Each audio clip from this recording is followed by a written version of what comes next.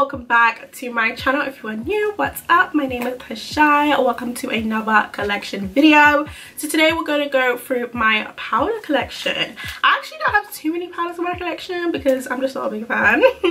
I have more normal skin borderline dry skin so powders i use them for the bare minimum the necessity. Anything that's not necessary i'm not really I'm not gonna feature powders, okay? So I'm gonna show you guys the ones that I find work for me, the ones that I like and have in my collection. Let you guys know what my favorites are. I think if you're not new to my channel, you probably know what my favorites are, but just gonna go through them, give you guys a bit of a review, give you guys some swatches, and yeah, real quick and simple. So let's get into it. So I'm actually gonna start off with face powders because I don't have too many of those. I generally don't feel like face powders make much of a difference to my skin. Um, I do full coverage glam looks all the time. I don't really set my face with a face powder and my makeup lasts. Maybe because I use like really good setting sprays, but the way I tend to apply my makeup, I don't need to use no powder to finish off the look. We're gonna talk about MAC, okay? So I have the MAC Mineralized Skin Finish in a Dark Deep. It works because it's very light. It doesn't really add too much color to my skin. It's fine enough to wear it doesn't feel like it's caking up or adding too much coverage. It gives a nice like natural finish. It's not super matte. It's not super like glowy. It doesn't have any like shimmer in it. It's just a very nice smooth it gives your skin a very smooth finish. I actually have hit pan on this now and it's kind of old. I've had it for a while now so maybe i need to get a new one but she's still here she still works okay? So this is dark deep. It definitely says it in the title skin finish. Literally gives a skin finish. I believe these retail for around 25ish pounds 22 pounds around there. Definitely worth it. And this is one of the best face powders i personally have used. I'm not a face powder queen so i can't really tell you about different ones I've used but for me I do like the finish of this. So this is another face powder. Actually it's a powder foundation but I personally would use as a setting face powder. So this is the Fenty Beauty Pro Filt'r Soft Matte Powder Foundation. Again, I would use it more as a face powder, but it's a powder foundation. So I got the shade 450. This is the shade and how it looks. Face powders usually look a little bit lighter and once you put them on your skin, they blend out fine. So yeah, this is the shade 450 and I used it as a foundation. I tried it as a foundation when I first did the review and I'll put the review in the description if you want to check that out. I don't like it as a powder foundation like I guess if you like powder foundations I guess but I just didn't see it. I didn't, I didn't see it for a foundation so for me it got demoted to face powder. Definitely a very nice formula, very smooth, very soft I just don't like powder foundation. I feel like it just makes me feel dry. I'm sorry. I don't like it. Definitely gives you a skin-like finish. I did say it can feel dry, but it's just I don't like a powder all over my face. I just feel like that's dry. But the formula itself isn't drying. It's a nice like soft matte. Um, very comfortable and yeah. So let's move on to the ones that I use more regularly, which are the setting powders. So these are the lighter powders that I would more so use under my eyes, sometimes on my forehead to set concealers and stuff so let's start off with one of my first ones i ever bought which is Sacha Buttercup. Oh my gosh. I, this has a special place in my heart because this was the, this, this powder literally changed my makeup game. This is what made me comfortable to wear like yellow powders under my eyes. I felt like I wasn't looking like a ghost. Like this actually worked for me.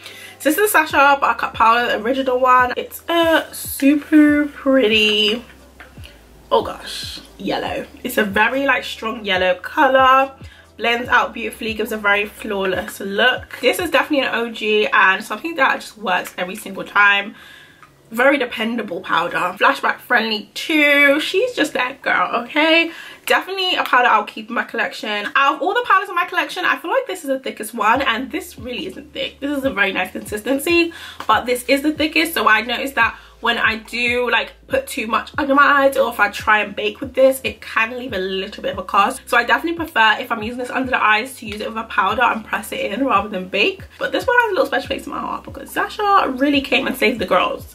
Really came and saved the girls because the flashback was disgraceful at some points. You guys remember Ben Nye what a time. You had to be there. If you wasn't here for the Ben Nye situation the Kim K highlight and contour phase girl you came around when we had some good setting powders because before that we was out here but not banana powder like really that was that okay next we're gonna talk about something that looks similar but is not it we have the Revolution Luxury Banana Powder. This is a pretty thick powder. It has a lot of body to this. If you're starting off and you want something affordable, then definitely you can check this out.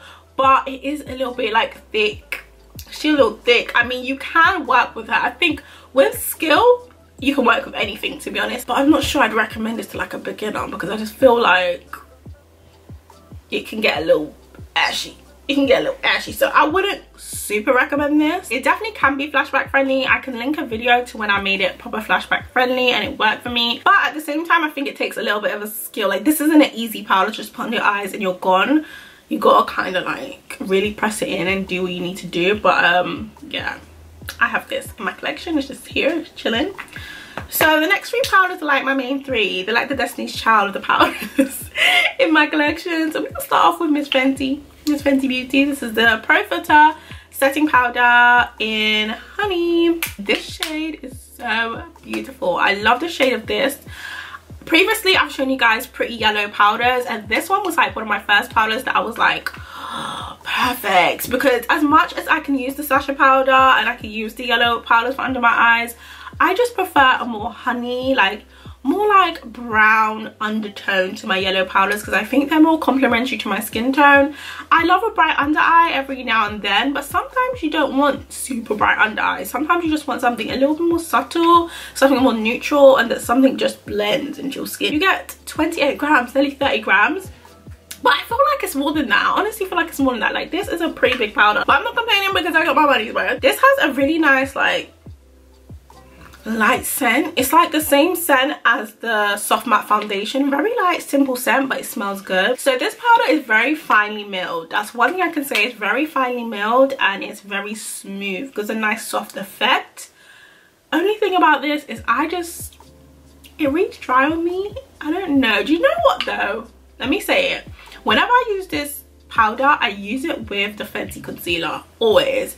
I never really have used it with any other concealers. I always use it with fenty so do you know what? I think that's something i'm gonna try. I'm gonna try this powder with a different concealer and come back to you guys and let you guys know. But all the times i've tried this powder i just feel a bit dry under my eyes. I just feel like I don't know, I don't know if it just doesn't work with my skin type.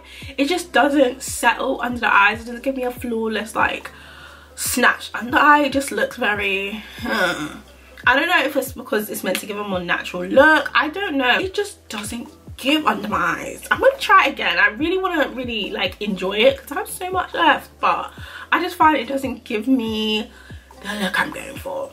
So the next powder is Laura Mercier.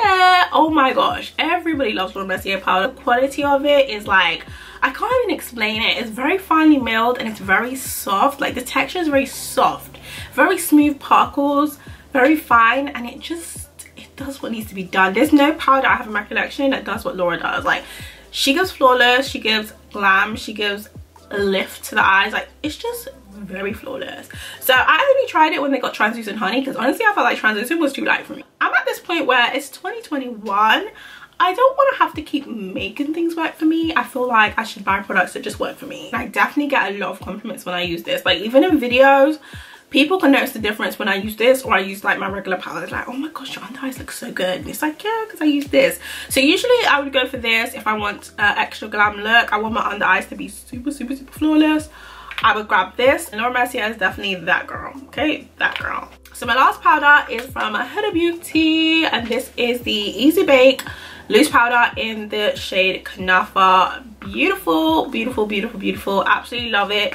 This is like the perfect honey shade. It's more so yellow. It's a yellow powder but it has a nice depth kind of like the fenty but just a little bit more yellow than that. And this powder is not hyped about. I know a lot of people love this powder and say it's really good but generally this is a very good powder. I use it literally every time i set my makeup every single time. This is like my favorite powder. I can say that now. This is actually my favorite powder my go-to. I always always always use it.